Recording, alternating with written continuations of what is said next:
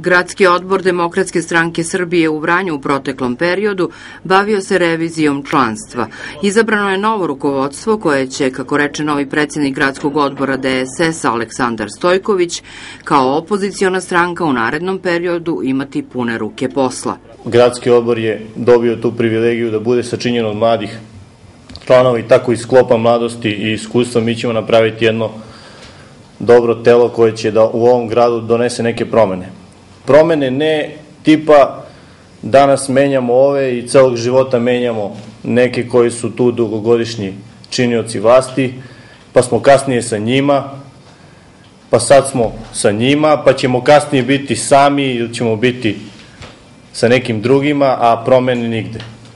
Znači, hoćemo, tražimo neke suštinske promene u gradu, promene koje su se desile Demokratskoj stranci Srbije, mi smo krenuli od jednog domaćinskog odnosa i počistili smo prvo u, svojim, u svom dvorištu.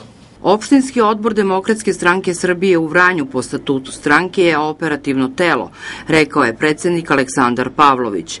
Članovi će prvi put od kada postoji Demokratska stranka Srbije u Vranju delovati po programu. Opštinski odbor će u narednom periodu formirati po prvi put sve mesne odbore, kako gradske, tako i seoske, znači po prvi put naglašavam imaćemo sve mesne odbore u gradu i ovom prilikom ja bih hteo da poručim svim političkim faktorima u ovom gradu da će Demokratska stranka Srbije i obećati da će Demokratska stranka Srbije u, u, u sled, posle sledećih izbora biti deo gradske vlasti u ovom gradu.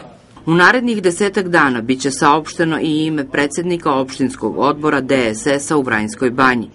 Trenutno ova stranka broji 1700 članova, a nedavno im se priključilo 170 novih.